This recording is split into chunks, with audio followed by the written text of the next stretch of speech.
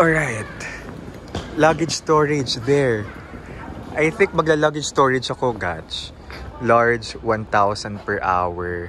Ito, pagkalabas, anong exit to? Exit 5, may luggage storage. Kasi 3pm pa yung, ano namin, um, check-in.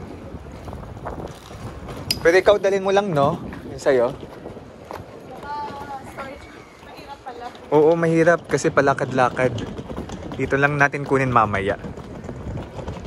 Hello guys! Anyo nga sa'yo? Kumusta kayong lahat? This is Dave, the Kuripo Traveler, and we're finally back here in South Korea!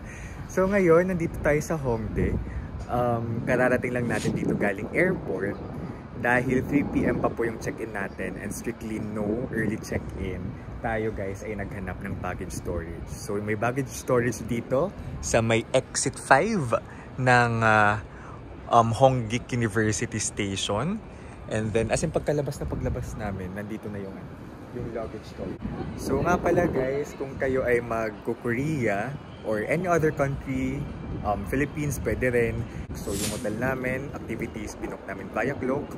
And then, you can use my promo code DaveGino para maka 5% off kay sa hotel and 3% off sa activities. Ang lamig ngayon, nakakatuwa. Hi, we're back in home day.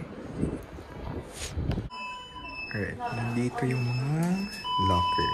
So, merong for small luggage or small bags and may mga pang jumbo na luggage like this one na akin. And then, dito tayo magpa-process ng ating um, luggage storage. So, hanggang 11pm lang sila guys. They can accept credit card or cash. And there's may, may opa. Let's try this. English. Keep. May mga nag-luggage storage din dito. I think mga students. So, um, 12? Touchscreen ba to? 12. Your locker will expire if you open the locker door anytime before your purchase time. Would you like to place your items in the locker? Yes. Enter your passcode. Ah, okay. Kailangan ng passcode. 6. Ayan, payment. Credit card natin. Pay attention to the direction. Um, okay, think dito. Medyo natanga ako kanina. Nag-debit card ako. Pwede namang debit card. Then there, and then bibigyan ko ng receipt and then mag-open yung locker. So make sure after yung ipasok yung gamit ninyo sa locker, di nyo na ulit bubuksan. Alright. Tara.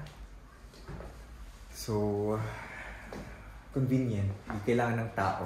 Ganito sa Korea, very um, machine halos lahat. Team money card, machine. You can load your team money card sa machine. Yung luggage storage, um, it can be done by a machine na. So yeah, very convenient. Kailangan mo lang mag-follow ng instructions. So here from Travelers Welcome Center, again, um, Honggik University Station, Exit 5, dito kayo pwede mag-luggage storage. Alright? So thank you so much guys for watching. Hanap na kami ngayon ng kainan. This is Dave, the Puripa Traveler. Let's live our best life. Hello guys! Kumusta kayong lahat? This is Dave, the Puripa Traveler. Kung naghahanap kayo ng luggage storage dito sa Hongdae area, punta lang kayo dito sa Exit 5. Exit 5 ng Honggik University Station. And ito ang bubungad sa inyo, Travelers Welcome Center. So, nandyan yung rate ng baggage. Okay? So, for hours, 4,000.